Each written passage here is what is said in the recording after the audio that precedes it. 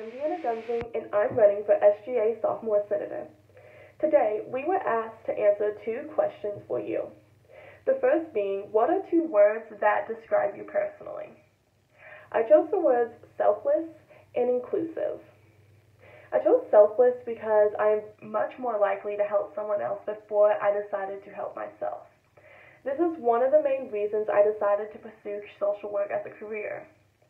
This is one of the values that I find myself living by from day to day basis. That if somebody who needs help needs you, then you take care of them first. I also chose inclusive because I think we need to be open minded within the student government organization. And we need to include every single group, even if we don't personally identify with that group ourselves. So inclusiveness is something that I value because I want everybody to feel like they are valued as a person and as a human, and if that they need something, they can come to us and ask for help no matter who is in that room because we will be open minded about it. Now, the second question I was asked to answer is what is your one main goal if you're elected?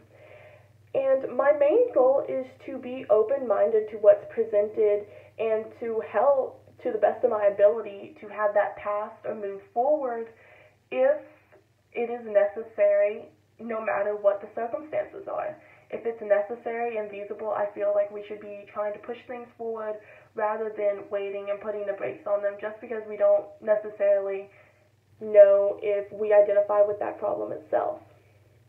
Thank you for watching the answers to the questions, and I sincerely hope that you vote me for SGA Sophomore Senator.